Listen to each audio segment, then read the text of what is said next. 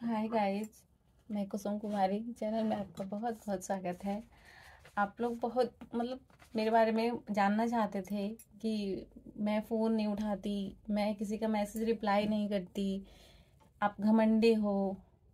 मैं उन सभी को ये कहना चाहती हूँ कि मेरी मतलब कंडीशन ही ऐसी है, मुझे प्रॉब्लम्स ही ऐसी है कि मैं मैसेज का रिप्लाई बिल्कुल नहीं दे पाती हूँ। उसके लिए आई एम सॉरी बहुत बहुत क्या बोलूँ? तहे दिल से मैं माफ़ी मांगना चाहती हूँ आप लोगों से कि मैं आपका मैसेज का रिप्लाई नहीं दे पाती, क्योंकि मुझे कंडीशन मेरी प्रॉब्लम ही ऐसी है कि मैं मैसेज का रिप्लाई नहीं दे, मैं दे भी नहीं सकती हूँ, क्योंकि मेरी उनको दिक्कत ही वही है। मेरा, मुझे एंकोलॉजी स्पोंडिलाइसिस है, ये मुझे आज की प्रॉब्लम नहीं है, ये मुझे 2010 से ही थी। 2010 से थी, मैंने बहुत दिखाया, लेकिन सभी मतलब एलोपैथिक में तो एक्चुअली बोल दिया गया था कि इसका कोई इलाज नहीं है। फिर मैंने सोचा कि इसका ना इलाज सोच के मैं बैठ के वैसे रोग की ज़िंदगी तो नहीं काट सकती। फिर मैंने मतलब सभी लोग मतलब डॉक्टर्स ने सजेस्ट किया, जितना आप एक्टिव रहोगे, जितना इसको, इससे दूर रहोगे, उतना आप अच्छे रहोगे। लेकिन रहने की कोशिश मैंने बहुत की, लेकिन अब वो हो नहीं पा रहा है, क्योंकि मेरी स्वेलिंग मेरी प्रॉब्लम्स इतनी बढ़ रही है कि मतलब सांस लेने में मुझे प्रॉब्लम्स आ रही है। मैं टाइप नहीं कर सकती। आप कहते हो कि आप डांस कैसे कर लेते हो? वो डांस मैं इसलिए कर पाती हूँ क्योंकि वो एक पोजीशन एक एक मतलब एक मतलब सिचुएशन एक जगह भी नहीं होती है। वो मूवमेंट चेंज होता रहता है। वो मूवमेंट में चेंज कर पाती हूँ। लेकिन अब वो भी मुझसे नहीं हो रहा है। अगर आप कहोगे कि मैं फ़ोन पे अगर बात करती हूँ तो फ़ोन पे मैं बात भी नहीं अच्छे से कर पाती हूँ। फ़ोन हाथ पे ले भी नहीं पाती हूँ। क्योंकि मेरे कोहनियों में प्रॉब्लम शुरू हो जाती है। एंकोलोजिंग एंकोलोजिंग स्पॉन्डिलाइसिस एक वो बीमारी है। जिसे कहते हैं जेनेटिक भी हो सकता है, लेकिन वो जेनेटिक बिल्कुल भी नहीं है। पता नहीं क्यों मेरे बेबी होने के बाद ही स्टार्ट हो गया था। मैंने बहुत कोशिश की इसको दिखाने के लिए, लेकिन पता नहीं क्या था, नहीं हुआ। फिर मैंने डांस स्टार्ट किया मैंने क्लासेस स्टार्ट की एक्सरसाइज स्टार्ट की, फिर उसके बाद मुझे थोड़ा अच्छा लगा। इस अच्छा क्या लगा? बस मैं थोड़ा इससे दूर रहती थी तो मतलब दिमाग मेंटली टॉर्चर नहीं हुई, थोड़ा फ्री रही। मैंने कोशिश बहुत की दिखाने के लिए। ये देखिए, मैंने 2018 में दिखाया था इसे, और पहले 2010 से ही दिखा रही थी, लेकिन शायद उन्हें पता ही नहीं चला कि मुझे दिक्कत क्या है, क्योंकि मुझे वो देख के बोल ही नहीं सकते थे कि मुझे actually B twenty seven positive हो सकता है। क्योंकि मैं एक्टिव वूमेन बहुत पहले से मतलब स्टार्टिंग से ही कभी मैं एक बेड पे बैठ के कभी ज़िंदगी काट नहीं सकती थी।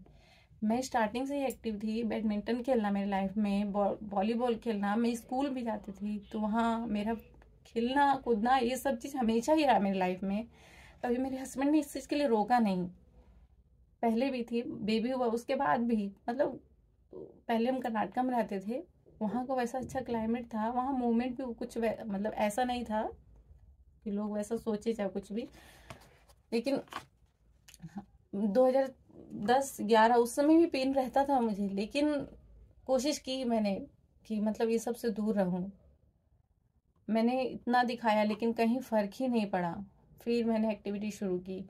मैंने दो, ये तो यहाँ पटना आने के बाद मैंने दिखाया, क्योंकि एम, कर्नाटका में जब तक थी, वो सारी रिपोर्ट्स मेरी कहाँ मिस हो गई मुझे नहीं पता। तो इस समय वैसा कंडीशन आया था, जब मुझे बिल्कुल भी चल चल नहीं पाती थी।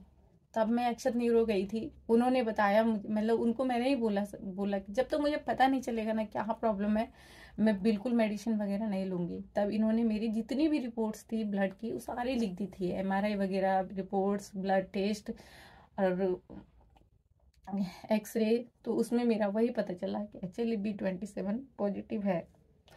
उस समय तो बिल्कुल डिप्रेशन में चली गई थी ये होता क्या है? फिर उसको सर्च किया तो पता चला कि ये ऐसी बीमारी है जिससे ठीक की ही नहीं जा सकती। ना कभी ये ठीक होती है। बिल्कुल।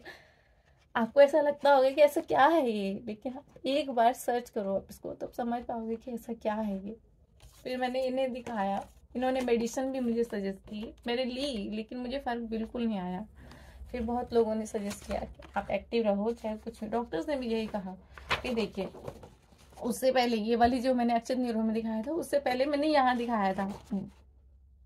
नालंदा है, नालंदा हड्डी एंड रीड सेंटर पहले मेरे तो बोलने में भी आवाज़ लड़खड़ाती है, मैं क्या बोलूँ?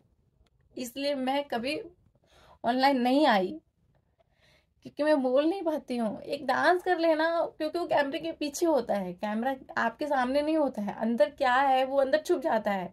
क्योंकि कैमरे के सामने फ़िल्टर लगा के मतलब झूठी भी स्माइल करके बस लगता है कि खुश रहो।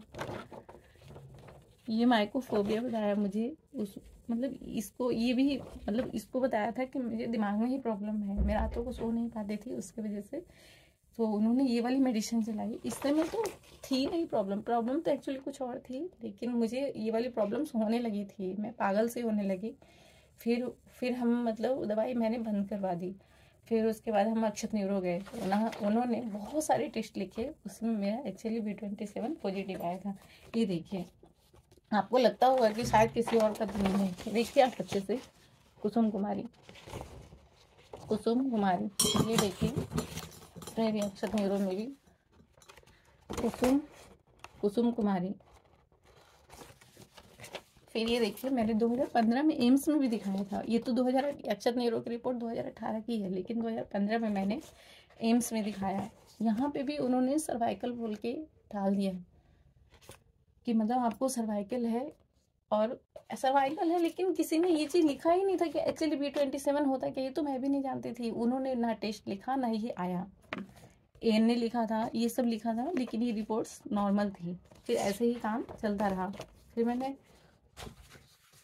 फिर ये मैंने हैंडमैन अपने वहाँ भी दिखाया है, क्योंकि उस समय भी प्रॉब्लम्स बहुत बढ़ रही थी मेरी। होम्योपैथिक में मैंने बहुत दिखाया, लेकिन कुछ हुआ ही नहीं, क्योंकि होम्योपैथिक से और मेरी प्रॉब्लम बढ़ने लगी थी। ये देखिए, कुसुम कुमारी, आपको ये भी लग सकता है कि मैंने सब झूठ बोला, लेकिन ऐसा नहीं है। मेरी लाइफ को आप जैसे जज करते हो, वैसे बिल्कुल भी नहीं है। मैंने बहुत कोशिश की थी, थोड़ा अच्छे से चले, लेकिन नहीं हो पा रहा है। अब तो सांस लेना भी मुश्किल हो